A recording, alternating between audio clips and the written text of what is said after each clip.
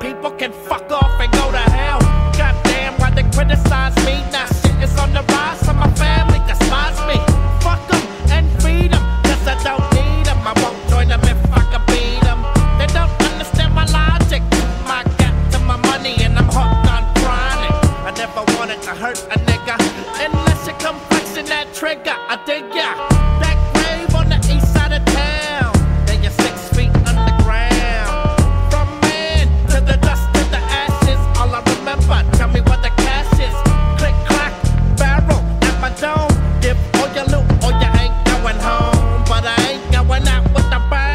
Wa da da dang, wa da da da dang.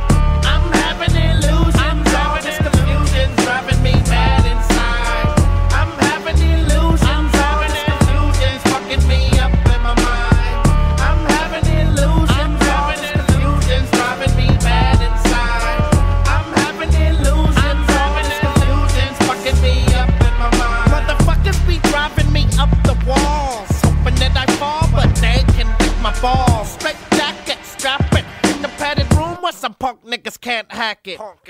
Distracted from all